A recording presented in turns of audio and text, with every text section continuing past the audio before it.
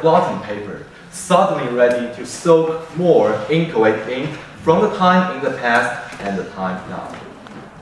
I woke up in a chill, and the monumental past hit me in the face. I have always held a passionate torch toward genuine artist music, and I pride myself in splitting the patronizing sensation brought by the mainstream music now. For such a reason, I have always regarded music as my shelter.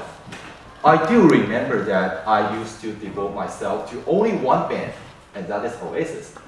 A band from Manchester formed by two cynical and perspicacious brothers. They occupied one of the household names in the 90s Britpop that has now already become. My first encounter with them took place in fourth grade, when I hear their song, Live Forever. Well, let's enjoy this music right now. Dream, not the real world. Well, the schemata of the music was incredibly simple, and the rhythm was touchingly pure.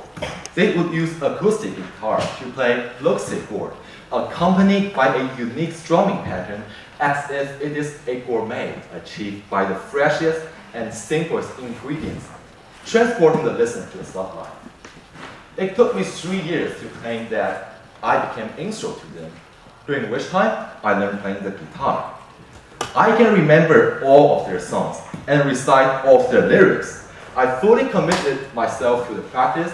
It was one of the best times in my life. Listening to re rebellious voice time after time, I was inching closer and closer to the meaning behind the music. They were subtly channeling their own romanticism through their private and distinctive voice. I have gained intimacy with their thinking. The spirit was rejuvenated by my hands, and most importantly, I can sing about the music instead of hypnotized by its comforting sound. But as I look around, I realize that most of the teenagers my age are different from me. They are predisposed to resorting to internet or social media as their safe haven. If you were me, you could detect a phenomenon like this. Teenagers feel more comfortable saying things on the internet than in the real world. This super cool kick-ass technology discourages self-expression in our everyday life. Thus, you might find those taciturn shy students in school who turn out to be live wires in the cyber dimension, and those quiet kids actually love rap songs on YouTube. Internet has become the most valid spot to express oneself. Internet has grafted our reality. Some parents might attribute these symptoms to the congenital shyness of their children. The fact, however, is that they were just seeking their own private voice, a voice they feel intimate with, at such an age where privacy is the ultimate luxury. My point is that in the cyber reality that we live in, we have lost our way.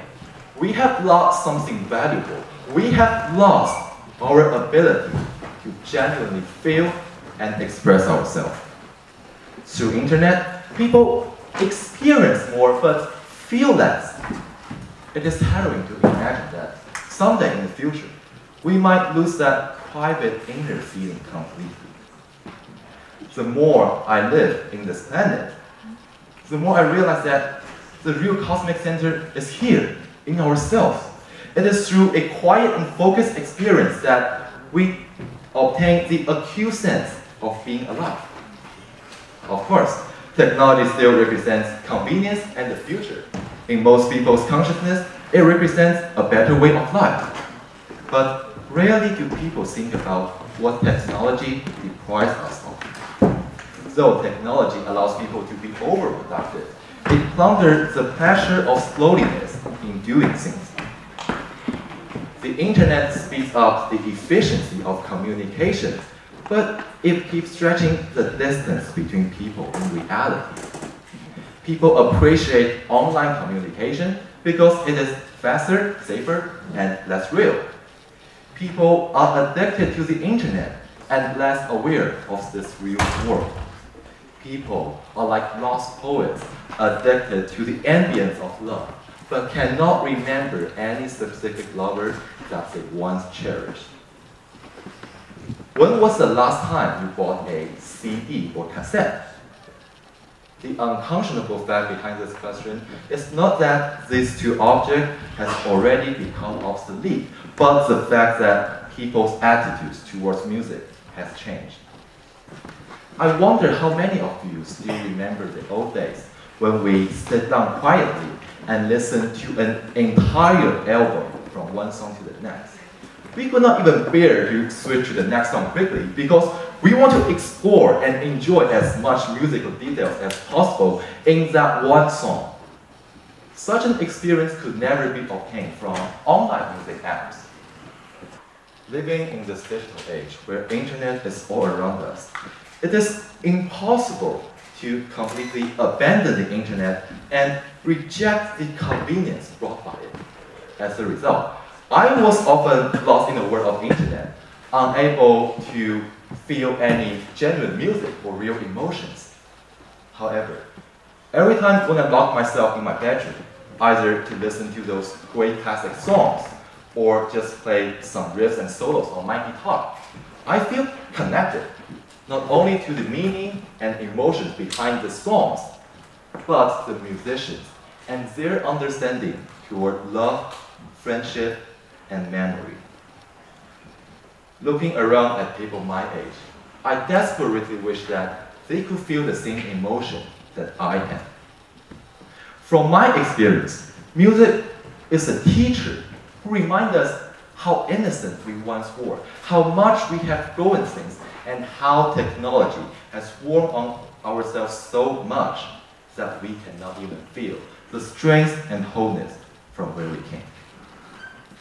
So here, I wish people could stop letting technology wear on themselves.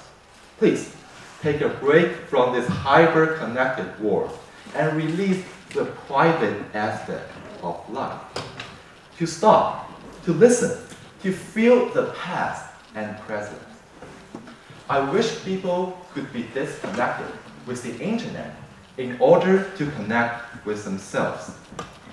I wish people could seek out the beauty that we have lost since the invention of internet. Music and guitar for me are my own way to approach this goal. I hope that through sharing my connection with music, I can exhort people to find their own way of feeling connected with themselves, with others, and with this world. Thank you.